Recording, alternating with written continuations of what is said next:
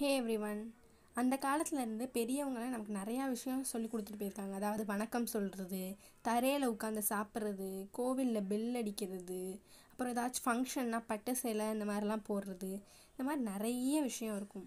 இந்த மாதிரி நிறைய எக்கச்சக்கமான விஷயங்கள் இருக்குது அந்த எல்லா விஷயத்துக்குமே கண்டிப்பாக சயின்டிஃபிக்காக ஒரு ரீசன் இருக்கும். எந்த ரீசனும் இல்லாமல் அதை நமக்கு சொல்லிட்டு போயிருக்க மாட்டாங்க. அது மாதிரி தான் வணக்கம் சொல்கிறதுல சயின்டிஃபிக்கான நிறைய ரீசன்ஸ் இருக்குது ஸோ அதை தான் இந்த வீடியோவில் பார்க்க போகிறோம் ஸோ வாங்க வீடியோக்குள்ளே போகலாம். நம்ம வணக்கம் சொல்கிறது இன்வைட் பண்ணுறதுக்கும் அப்புறம் ரெஸ்பெக்ட் பண்ணுறது அதை மட்டும்தான் நம்ம நினச்சிப்போம். ஆனால் அப்படி கிடையாது.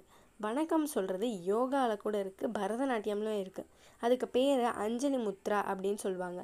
அது பண்ணுறதுனால நம்மளால் நல்லா கான்சென்ட்ரேட் பண்ண முடியுது. அது மட்டும் இல்லாமல் நம்மளால் ரொம்ப ரிலாக்ஸ்டாக இருக்க முடியுது. நம்ம வணக்கம் சொல்லும்போது ரெண்டோ ரெண்டு கையையும் ஒன்றா சேர்த்து வச்சு வணக்கம் சொல்லுவோம். அப்போது நம்ம ஃபிங்கர்ஸ்லாம் ஒன்றா ஜாயின் ஆகும்.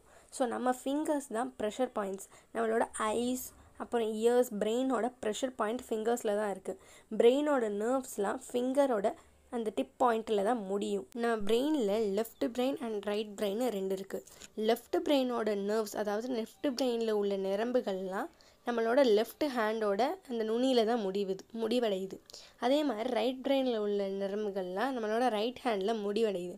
இதனால் நம்ம ரெண்டையும் சேர்த்து அழுத்தம் கொடுக்கும்போது அது வந்துட்டு நல்லா ப்ரெஷர் க்ரியேட் அப்படி ப்ரெஷர் க்ரியேட் ஆகும்போது நம்மளோட கண் நம்மளோட காது நம்மளோட பிரெயினில் ரொம்ப ஆக்டிவாக ஒர்க் ஆக ஆரம்பிக்குது. அப்படி ஆக்டிவாக ஒர்க் ஆகுறனால நமக்கு முன்னாடி இருக்கிற பர்சன் நம்ம யாருக்கு வணக்கம் சொல்கிறோமோ அவங்களோட நம்ம பேசுகிறதையும் அவங்களையும் நம்மளால் ரொம்ப நாள் ஞாபகம் வச்சுக்க முடியுது.